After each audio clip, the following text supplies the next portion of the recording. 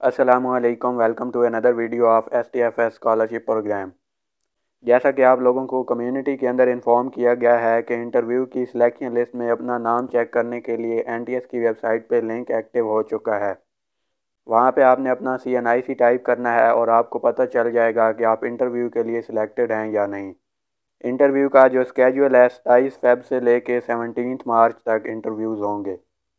अब बहुत से स्टूडेंट्स का सी एन आई सी टाइप करने के बाद रिकॉर्ड नॉट फाउंड आ रहा है। तो इसका मतलब है कि वो इंटरव्यू के लिए इन एलिजिबल हैं। अब कुछ स्टूडेंट्स कहते हैं कि फ़लाँ स्टूडेंट के और मेरे टेस्ट के अंदर मार्क्स सेम हैं, लेकिन वो सिलेक्ट हो गया है और मेरा रिकॉर्ड नॉट फाउंड आ रहा है। तो इसका रीज़न ये हो सकता है कि आपको जो एडवर्टाइजमेंट पेज दिया गया था, उसके ऊपर मेंशन था कि जो सिलेक्शन होगी वो कोटा वाइज होगी और मेल और फीमेल के लिए फ़िफ्टी फ़िफ्टी परसेंट सीट्स हैं। अब पहली बात तो ये है कि प्रोविंस वाइज मेरिट बहुत ज़्यादा फ्लक्चुएट करता है। और दूसरी बात यह है कि हो सकता है उन्होंने डिस्ट्रिक्ट वाइज भी मेरिट कैलकुलेट किया हो।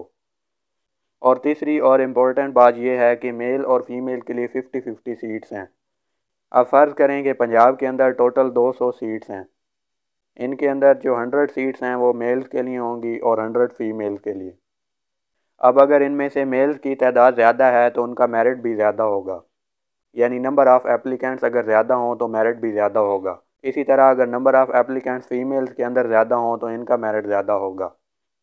तो यहाँ पे पॉसिबिलिटी है कि अगर एक मेल के 98 मार्क्स हैं और अगर एक फ़ीमेल के भी 98 मार्क्स हैं तो इनमें से एक सिलेक्ट हो जाए लेकिन दूसरा ना हो। क्योंकि मेल्स और फीमेल्स का जो मेरिट है वो डिफरेंट हो सकता है। और दूसरी चीज़ ये कि फ़र्ज़ करें एक स्टूडेंट के मार्क्स हैं टेस्ट के अंदर 98 और मैट्रिक के अंदर उसके मार्क्स हैं one thousand and fifty two. अब एक और स्टूडेंट है, उसके भी टेस्ट के अंदर नाइन्टी एट मार्क्स हैं, लेकिन उसके मैट्रिक के अंदर वन हंड्रेड और सेवेंटी मार्क्स हैं। तो अब दोनों के टेस्ट के अंदर मार्क्स सेम हैं, लेकिन मैट्रिक के नंबर्स की वजह से ये वाला स्टूडेंट सेलेक्ट होगा और ये वाला नहीं होगा। अगर मेरिट 98 पे क्लोज हो रहा हो तो।